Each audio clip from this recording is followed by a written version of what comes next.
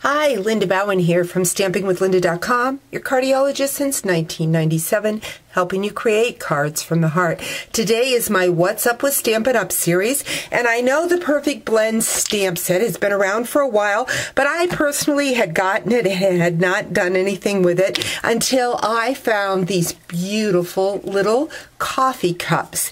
They make perfect um, little candy holders.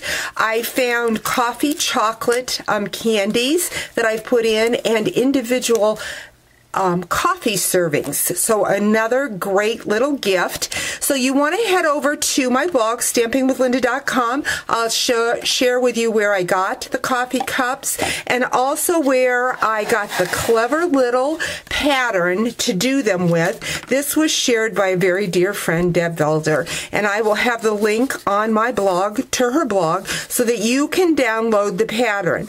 I used the All Is Calm designer series paper using my sticky strip and you simply just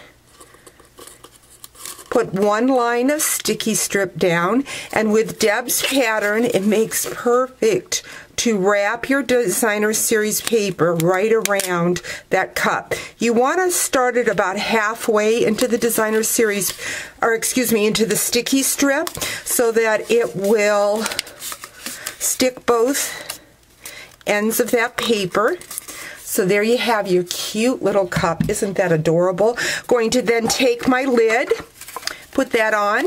Going to bring in a piece of soft sky cardstock and my Lost Lagoon. It says coffee and friends are the perfect blend. Again, I have used candy, hard candy, and single coffee packs to put in my little coffee cups. I'm then going to just take a dimensional, if I can put my fingers on my dimensionals, and if I can't, oh, here they are, going to put a dimensional on the front of my cup, and then I am just going to take my Lost Lagoon ribbon.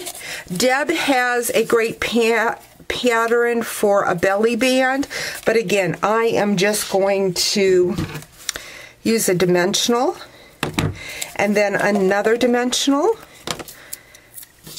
to put my little tag on. So the other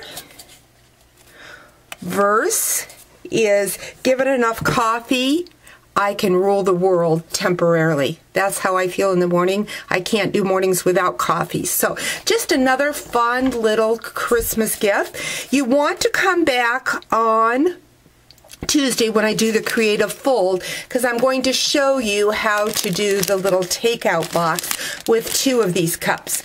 So join me on Tuesday. Talk to you real soon.